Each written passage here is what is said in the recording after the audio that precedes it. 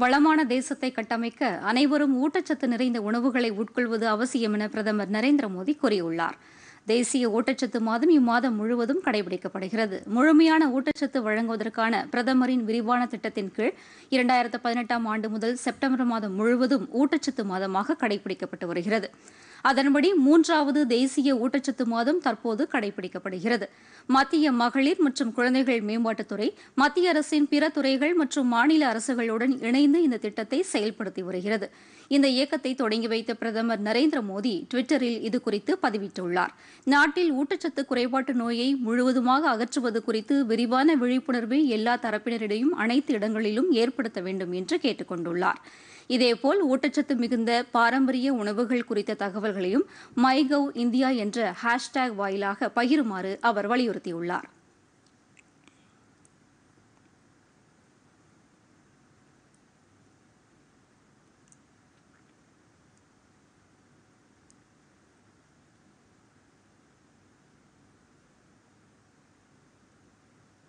சத்துணவு திட்டத்தில் பால் உள்ளிட்ட ஊட்டச்சத்து பொருட்களை சேர்த்து வழங்க வேண்டும் என குடியரசு துணைத் தலைவர் வெங்கையா நாயுடு வலியுறுத்தியுள்ளார்.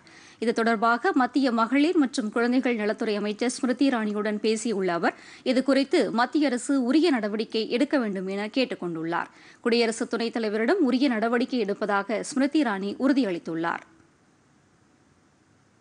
உள்துறை அமைச்சர் அமித்ஷா நாட்டில் குழந்தைகள் கர்ப்பிணி பெண்கள் பாலூட்டும் தாய்மார்கள் ஆகியோருக்கு ஊட்டச்சத்துடன் கூடிய உணவுகளை வழங்குவதை உறுதி செய்ய பிரதமர் நரேந்திர மோடி தலைமையிலான அரசு முன்னுரிமை அளித்து வருவதாக கூறியுள்ளார்.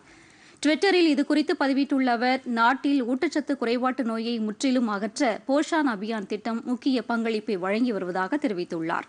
நாட்டின் அனைத்து பகுதிகளிலும் குழந்தைகளுக்கு ஊட்டச்சத்து நிறைந்த உணவை வழங்க வேண்டும் என்பது குறித்த விழிப்புணர்வை ஏற்படுத்த வேண்டும் என்று அவர் வலியுறுத்தியுள்ளார்.